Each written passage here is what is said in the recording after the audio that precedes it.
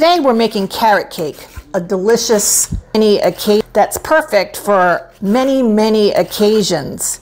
It's perfect for birthdays, perfect for holidays, and perfect really any time of year. Most people love it. And today, the carrot cake that I'm making is just a little bit different because we're going to be making it in a loaf pan. So if you're someone who really doesn't want to have a huge cake for your dessert, this loaf cake may be the perfect solution. A carrot cake with raisins and pecans and a delicious cream cheese frosting. So good, so versatile, and you can freeze it ahead of time. Of course, the star of a carrot cake is carrots. And I'm preparing two cups of packed shredded carrots to add into this delicious cake. You'll want a half a cup of chopped walnuts or chopped pecans. Either one will work. Today I'm using chopped pecan. I like to grind my nuts in this nut grinder because when I'm making a cake that asks for nuts in the ingredients, I don't, I don't like to have very large pieces of nuts. So this nut grinder works beautifully. You're going to want to lightly grease and then flour a 9 by 5 inch loaf pan. Now be aware there are different sizes of loaf pans. For this recipe, you're going to want to use a 9 by 5 inch loaf pan. Mix together your dry ingredients. That's 1 and 1 third cups of all-purpose flour, 1 teaspoon of baking powder, 1 teaspoon of cinnamon, 1 half teaspoon of ground ginger, 1 quarter teaspoon of nutmeg, 1 half teaspoon of salt.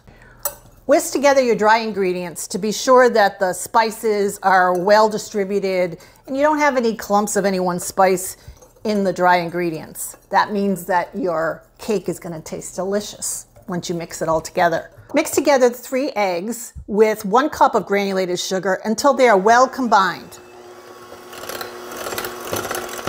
Add in one cup of vegetable oil and two teaspoons of vanilla.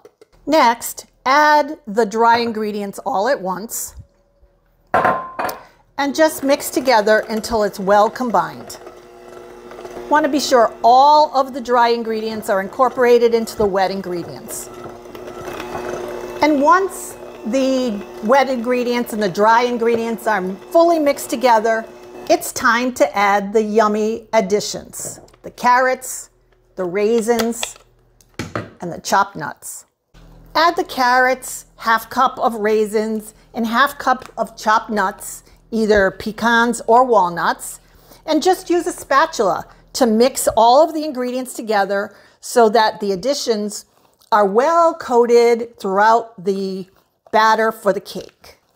Then just transfer the batter into your prepared nine by five and a half inch loaf pan. Place your cake on the center rack of your preheated oven, preheated to 350 degrees Fahrenheit. Your cake will take between an hour and an hour and 15 minutes. Test your cake by inserting a toothpick in the center, and when it comes out clean, your cake is ready.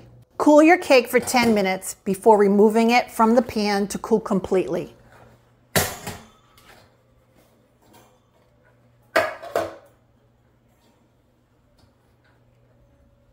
Part now, the cream cheese frosting. What's better than cream cheese frosting on a carrot cake? Hmm. So, to make this, we're going to take a half a cup of cream cheese and four tablespoons of butter. I'm using unsalted butter. I'm going to mix them together using my mixer. And I want them to be well combined.